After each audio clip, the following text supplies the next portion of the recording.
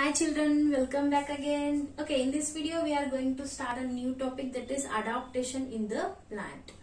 Uh, we know that the um, how the adaptation uh, will be there, what are, how what are the types of the plants, and uh, we have derived or uh, differentiated types of the plants depending upon their height and their growth and their thickness, isn't it? So already you have this idea. Then how do the different plants, we can see the plants in a different area. That area may be inside the water and on the land and in the cold region and in the dry region and in the uh, continuously for rainfall region and on the normal uh, where the very hot sun is there in that region everywhere the plants can be seen. Then how they have adopted in a different different areas that is we are learning in this video. Uh, for example before this uh, in this chapter we will learn a word that is known as the habitat. This habitat see for example we all are uh, uh the land this earth is our habitat. Okay we all are living on the earth. Then we cannot live under the water because our body is adjusted to the land and the climate on this land. Then we are able to live on the land.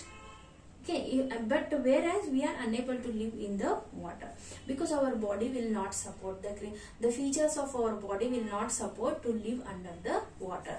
That is the natural environment where an organism that may be the animal that may be the plant where an organism is living that is known as the habitat the natural environment where an uh, particular organism can live. That is known as the habitat. Then to live in a particular habitat there must be a adaptation of our body. That may be the animal or that may be the plants. Then adaptation means see my body is like this and it is adapted to the uh, this uh, climate for example i have this type of skin. I have black hair i have like this ears so i can uh, hear the sound. Whereas the ears and nose part of the fish is totally different from our body part of uh, ears and the nose. Because that is adapted to live under the water. To live under the water what are the features should be there? That the fish has got. And to live on the earth and to uh, live like this life what are the features should be there? My body or our body has got okay? So this is what the adaptation. Adaptation means what? There will be a special features in the organism. So in this in the plant then that those special features of the plant will help to grow well in the particular habitat. That is known as the adaptation. Okay?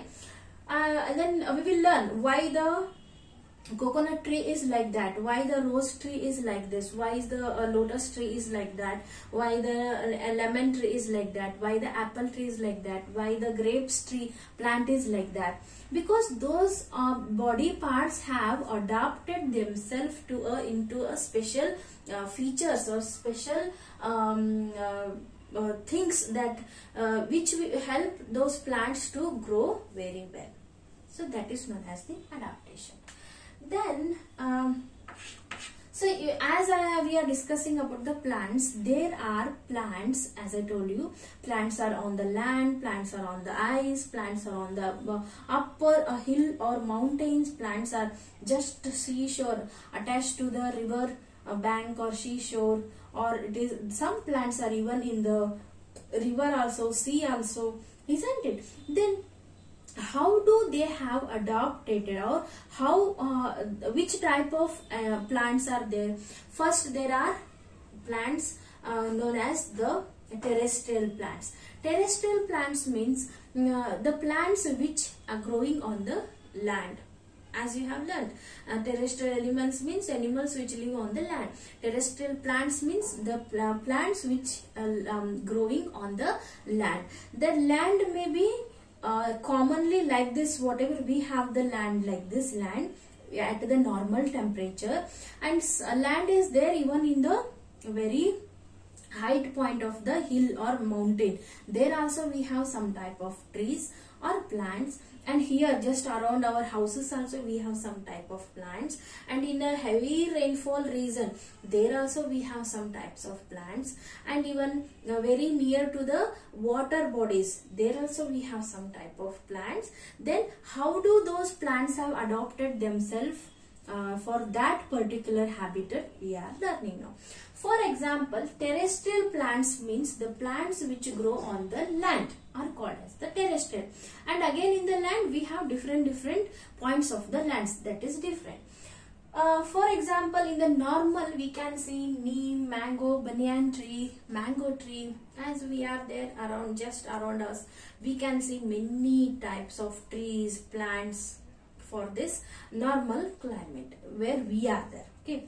Other than this, we can see that there are uh, plants and uh, uh, trees in the dry sea, uh, region that is desert in a coastal region there also we can see the different uh, types of plants and even in the cold region also we can see many types of the plants we will learn this one by one now first of all adaptation of the plants growing in the desert that is dry area for example, in the desert, we can see cactus, aloe vera and the stem, thick stemmed plants will be there.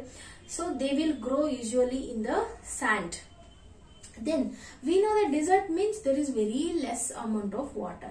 Even the animals will not get the water every day or regularly some days there will be a some one pond like structure and after so four days it is going to disappear because they have they have the very hot sun rays and hot temperature will be there. So that water is going to evaporate.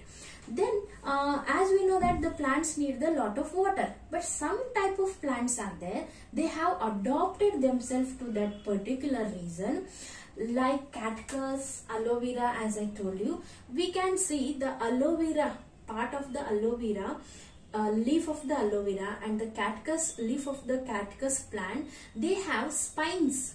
Spines means can you understand needle needle like structures. Those spines uh, will uh, will allow that leaf or that plant not to evaporate water from their body.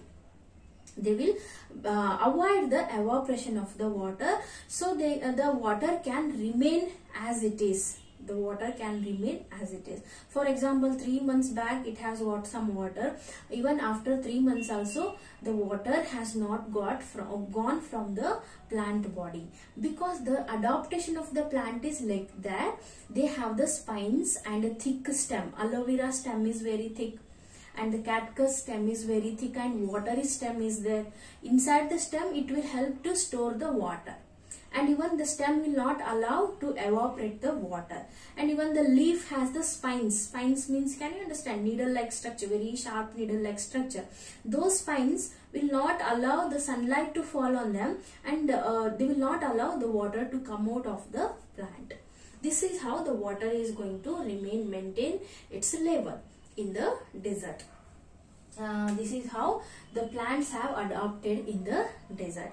Okay in the next video we will learn how the plants have adopted themselves in the cold and uh, height point of the mountain and the hills and even under the uh, sorry in the coastal areas also coastal regions also. But in this video we will end up to this. Before ending as children you can write down the answers for the questions. What is habitat? What is the adaptation and you can write what are the terrestrial plants. You can write uh, uh, how the um, plants have adopted themselves in the deserts. I just know as I have explained you can write the answers for that. I hope you will do this and uh, let us meet in the next video. Till then take care. Bye bye